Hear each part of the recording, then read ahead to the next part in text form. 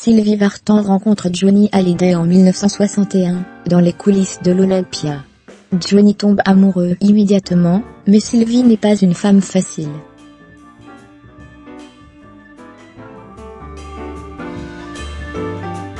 L'idole des jeunes devra patienter avant de serrer Sylvie dans ses bras. La suite barre oblique. Ils deviennent le couple glamour des yéyés, les symboles d'une génération qui rêve d'amour et de réussite.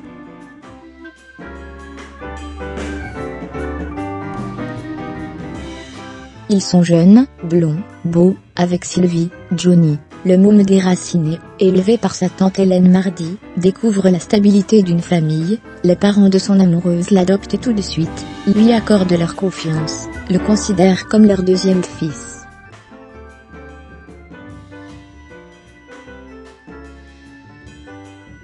Ils semblent déjà si sérieux, couvrent leur fille de cadeaux, avec Sylvie, Johnny parle mariage et enfants, il se fiance le 15 octobre 1963.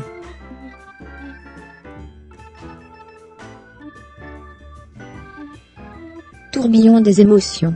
Manège de la vie. Tout s'accélère. Johnny fait l'armée en Allemagne, Sylvie enchaîne les concerts, au Japon ou ailleurs.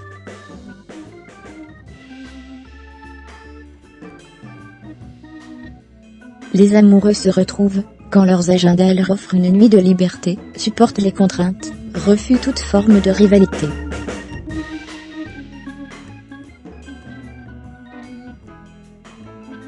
Ils s'aiment. Pourtant, au fil des semaines, eux en apparence si complémentaires se découvrent différents.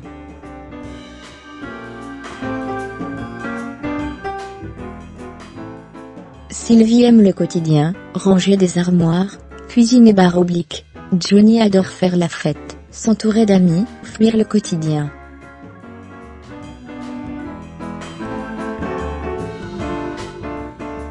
Elle se lève tôt, il se couche tard.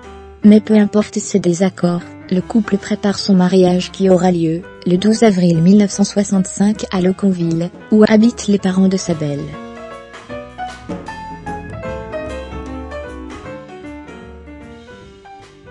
Sylvie rêve de noces intimes, confidentielles, secrètes, les bancs furent publiés au dernier moment, elles sont bruyantes.